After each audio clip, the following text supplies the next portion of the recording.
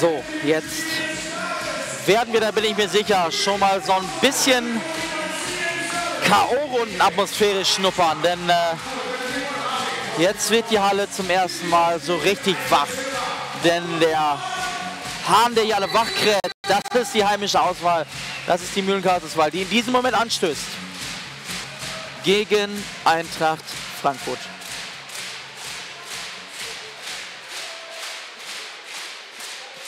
Da sehen wir es. Publikum ist da, Publikum hat Lust auf die nächste Sensation nach gestern dem 13-0 gegen 1. FC Nürnberg. Im ersten Spiel ja 0-0 gegen Wolfsburg, gegen Gladbach gut verkauft und spät mit 0 zu 2 verloren und dann das besagte 3-0 gegen die Franken. Frankfurt startet ja mit einem 1 zu 7 gegen Schalke 04. 2 zu 0 Sieg dann gegen Werner Bremen. Und gegen die starken Berliner setzt es da nochmal ein 1 zu 3. Ja, bei Müller, der bei allem Anfeuern noch die Zeit hat, ein paar Autogramme zu geben. Fanfreundlich wie immer. Die größte Maus im Mühlenkreis. Und die Klatschpappen sind hier zu hören. Das ist hier richtig Atmosphäre. Da sehen wir es auch. Wunderbar eingefangen. Hier ist der Schussversuch.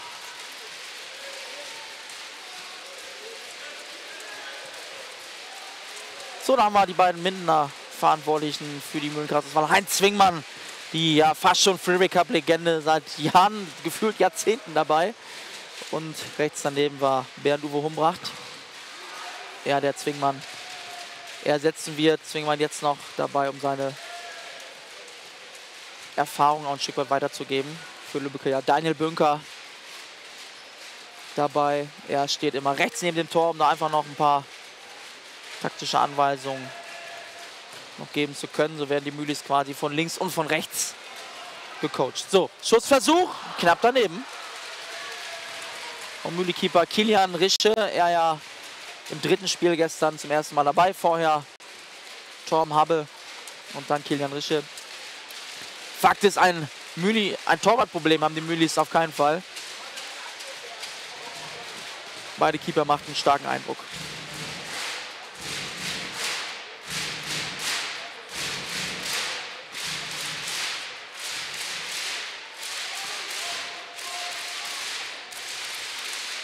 Ich glaube, es kommt ein bisschen rüber. Es ist schon mehr Atmosphäre als gestern, das muss man so sagen. Aber die Halle noch etwas verhalten, auch bei den Spielen der Mühlenkreisauswahl. Und jetzt sehen und hören wir doch einige Klatschpappen hier. So, Wechsel bei den Mühlis.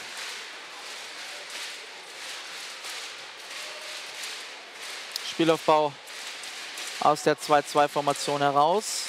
Jetzt setzen sie auch Rischer als fliegende Torwart ein. Ja, abschließt und trifft! Torwart-Tor! Und da geht's doch ab! Die Luzi! da sehen wir's! Kilian Rische, 1-0 für die Müllgausauswahl. Jetzt anschnallen, fertig machen. Rams, genau da muss er rein. und abgedreht zum Jubel. Wunderbare Bilder.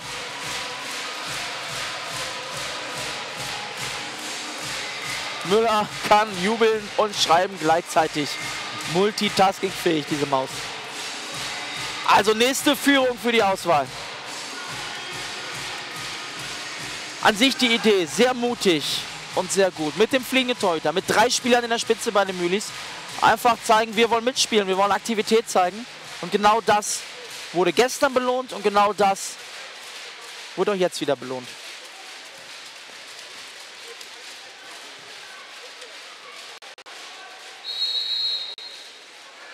Freistoß für die Frankfurt. Hier am Ball Finn Otto mit der Nummer 4. Nationalspieler, gerade in La Manga unterwegs gewesen.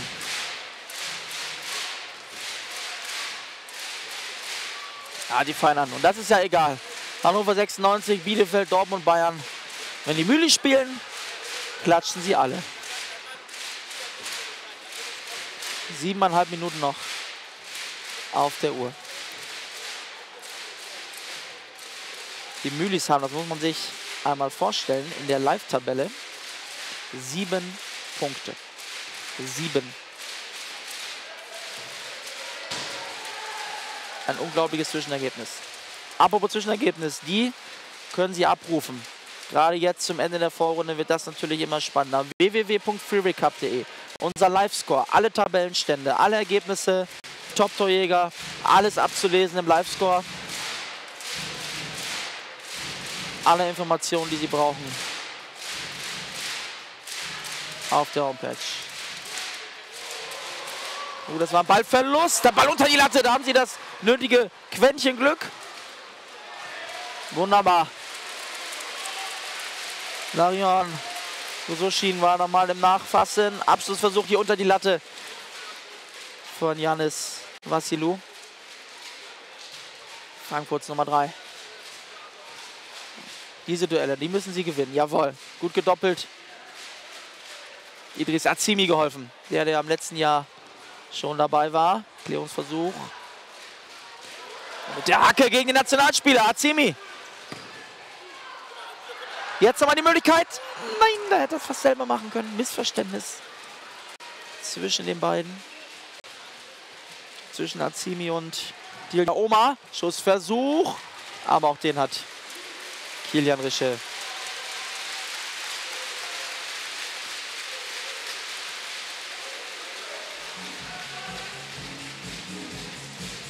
Ah, schade, Mitnahme hier. Geht ins Aus.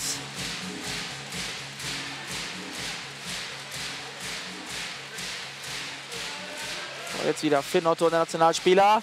Verliert den Zweikampf, bekommt keinen Freistoß. Er jetzt sagt, Schiedsrichter Schäfer, Ball gespielt, so nicht aufregen, sondern weitermachen. Das ist wichtig, da haben wir alle keine Zeit zu. Auf diese Diskussion dürfen Sie sich gar nicht erst einlassen. Immer weiter spielen, immer alles verteidigen, mit größtmöglicher Leidenschaft.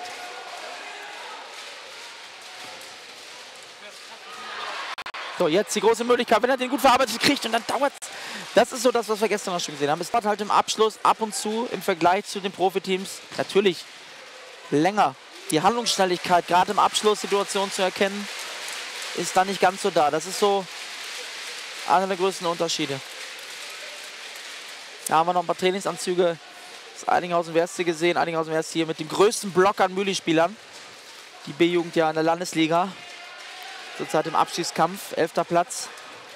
Zehn Spiele, sechs Punkte. Da ist wieder Kilian Rische, der das hier momentan fast im Alleingang macht, indem er vorne trifft und hinten den Kasten sauber hält. Bis hierhin. So, Ball quergelegt, wieder ein Fuß dazwischen. Ganz wichtig, dass Frankfurt da nicht in einen Rhythmus kommt. Wieder gut verteidigt. Sie müssen aktiv bleiben. Jawohl, jetzt die große Chance. Klasse gemacht, Azimi. Gut verladen und dann der Ball etwas weiter nach außen. Aber alles gut. Auch hier kein Foulspiel. Sagt Schäfer. Rische wieder mit der Fußabwehr. Wichtige Rettungstat. Ball geklärt. Jetzt müssen sie es fighten. Sie müssen aktiv bleiben. Sie werden ein bisschen passiv gegen den Ball. Klar ist das anstrengend. Aber es lohnt sich, Jungs dürfen sich nicht zurückziehen. Sie dürfen nicht bleiben. Ludrich, ja, sie sind zu passiv. Sie betteln. Sie betteln gerade drum. Wichtig wäre jetzt, dass sie an den Ball kommen, um wechseln zu können. Das wäre jetzt ganz wichtig. Sie wirken platt. Und die Halle. Die muss helfen. So, drauf, vor, vor. Jawohl. Immer wieder dazwischen. Wieder Druck drauf. Und dann, oh, wieder Rische der hier mal wieder rettet. So, jetzt müsste eigentlich der Wechsel kommen. So, richtig. Richtige Entscheidung. Boah. Da bin ich bei Heinz Zwingmann. Ja, Schäfer und Zwingmann diskutieren gerade. Das war ein bisschen hart. Ich glaube, da hätte man durchaus weiterlaufen lassen können. Er hat die 4-Sekunden-Regel gepfiffen. Seiner Meinung nach hat der Keeper den Ball länger als 4 Sekunden in den Händen gehabt. Ja. Wenn ich das beamtenmäßig lösen will, ist das gerade passiert. Also das war hart, das war brutal hart. Vor jetzt. Klasse Rische. Alles gut gegangen. Thema abhaken. Drei Minuten knapp. Es liegt die nächste Sensation in der Luft. So, jetzt mit frischen Beinen. Wieder aktiv sein. Jawohl, und genau das ist wichtig. Forsch attackieren. Schussversuch. Dieser Blockwechsel, der war unglaublich wichtig jetzt. Wieder der Versuch. Der Ball ist im Tor. Was war denn das für eine Bogenlampe? Sie können es kaum fassen. Er kann es kaum fassen. da weiß er gerade selber nicht, wie das passiert ist. 2-0. Mühlenkreisauswahl. Hier sehen wir es nochmal. Zack. Irgend so ein krummes Ding. Wir konnten jetzt durch die Leibchen noch nicht ganz erkennen, wer das war.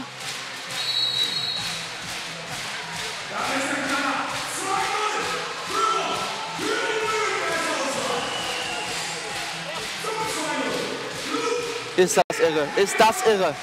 Die gehen doch hier nicht mit sieben Punkten aus der Vorrunde. Aber sie sind auch gut eingestellt. Sie sind offensiv besser als im Feuer, deutlich besser. Sie haben Abläufe, sie haben Strukturen. Sie kriegen es gut verteidigt im 1 gegen 1 defensiv. Sie haben eine klasse Laufleistung. Immer wieder gehen sie hinter den Ball. Ja, und er kann nicht zufrieden sein.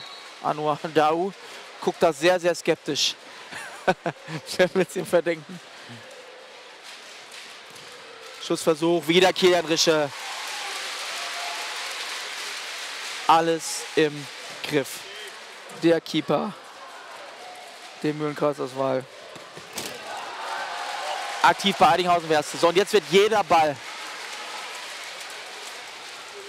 geklärt, als wäre es der letzte. Freistoß für die Frankfurter.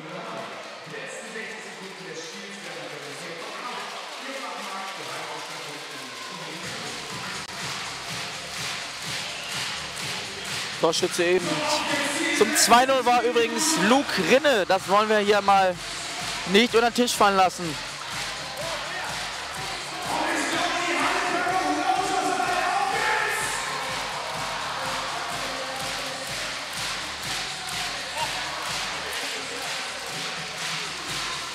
Wir gehen die letzten 30 Sekunden. Und wieder Kilian Rische. Also das Spiel hier, das kann er sich mal einrahmen und übers Bett hängen. Da, was für ein Safe. Also diese Szenen müssen ihm irgendwie zur Verfügung gestellt werden. Irre, ist das irre. So, Halle ist da, Halle ist wach. Wieder Rische wir haben noch 20 Sekunden auf der Uhr. Die Mühlis sind auf dem Weg zur absoluten Traumvorrunde.